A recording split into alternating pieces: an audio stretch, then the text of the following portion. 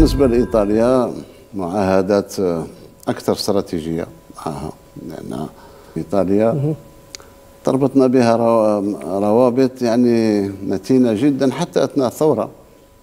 ومن بعد الثورة في الأيام الحالية تاعنا في العشرية السوداء وجدنا إلا إيطاليا إلى آخره. حتى البترول والغاز تاعنا كانوا هما المستشارين كان أنريكو ماتي هو هو المستشار تاع المتفاوضين تاعنا في افيان وغير افيان إذا فيها شيء من رد الجميل؟ فيها رد الجميل وفيها صداقة عميقة و وشفافة كذلك. مع الإيطاليين ما شفنا منهم إلا حتى أيام ما كنا في الازمه الماليه في ال 91 92 لما كنا أعلنا على عدم قدرة التسديد نتاع المديونية. ضرب علينا حصار كبير حصار لكن إيطاليا وقفت مع الجزائر خلال هذه الفترة. نعم. هو كان فيه برنامج تاع انبوب آه، قبل. جمد. رجعنا اليوم لإعادة دراسة الانبوب لإحيائه.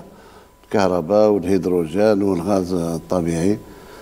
راه في الدراسه وإن شاء الله نقوم بإنجازه. في يبدو أن في صعوبات حاليا. تمويل من طرف الاتحاد الأوروبي ولكن التمويل ممكن نشارك إحنا وإيطاليا وننجز ايطاليا لن تستفيد من من القطيعه مع إسبانيا لأن عندها جانب آخر في المعاملات في المعاهدات.